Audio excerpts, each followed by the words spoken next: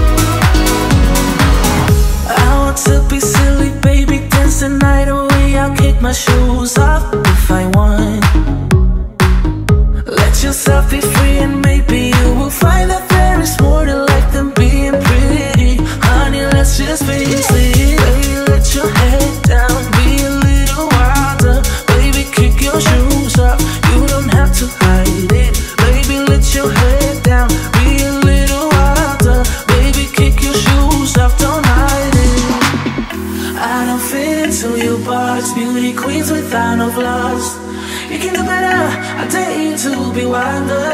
I don't fit into your box, beauty queens without no flaws. You can do better, I dare you to be wilder. I don't fit into your box, beauty queens without no flaws. You can do better, I dare you to be wilder. I don't fit into your box,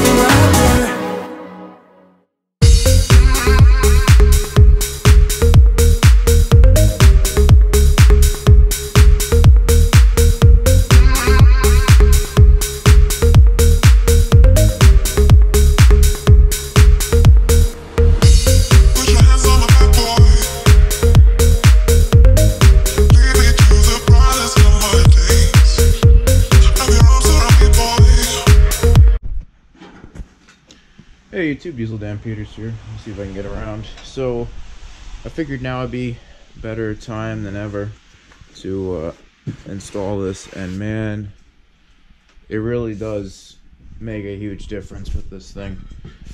Um, I love it.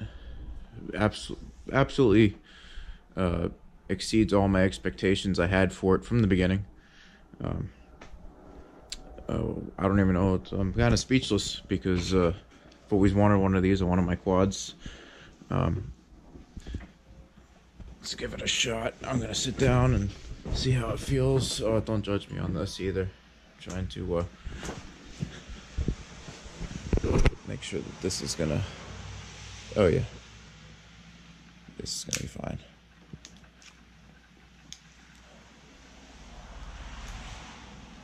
Yep.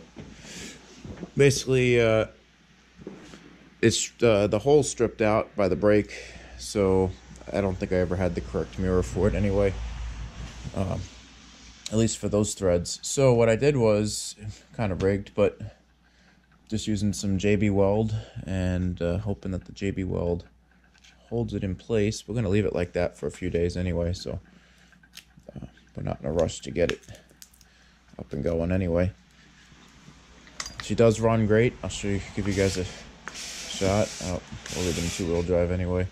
Uh, should go. Yep.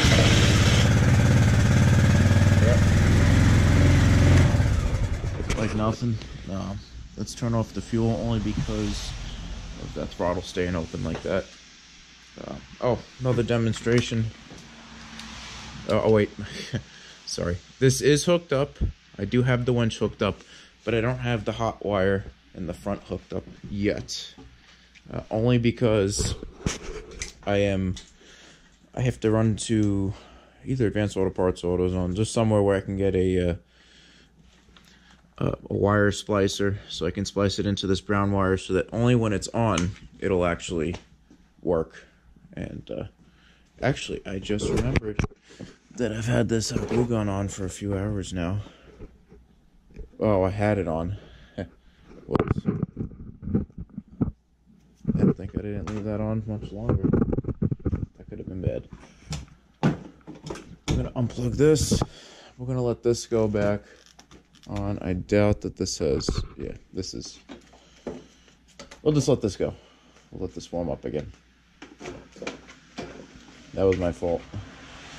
I need that so I can hot glue these uh, terminals in here closed. I just don't want them to ever uh, get water and corrode it out, just like the previous wiring uh, was. Wiring was horrible on this thing. Oh man, I have no idea. So basically, we just have we're down to just mounting plastics pretty much at this point. Besides that wire, uh, two zip ties for the back there. Uh, everything else is working, even the tail light. Tail light works. Yep. It's just a regular light. There's no actual uh, brake light specifically. Um, yeah, she's running good. I'm excited. I'm excited for this thing. Uh, like I said, even the LEDs are wired up. See? That's where I ended up putting the button. This thing is coming out immaculate. Stay tuned, you guys. There's not much left. Um, if we take this quad again, uh, quad apart again, uh, it'll be just to rebuild the engine at that point. So hopefully this thing lasts at least a year or two. I'm excited. Love this thing. Hopefully it does last. It doesn't have many miles either. Got 1469 right now, so really has no miles at all. Hardly any, at least to my in my opinion. That's a low mileage quad to me. I don't know about you guys, but that that's what a low mileage quad is to me. Uh, we got the winch set up in the front, looking snazzy. See right here, winch. Um, like I said, we're down to just the bare bone little stuff, you know, wiring in the LED lights. Um, yeah, really not much though. There's not much left anymore. So, thank God. We're almost there. Almost there, YouTube. So you guys stay tuned, and that's all I got for now. Um, yeah, Diesel Dan Peter signing out for now.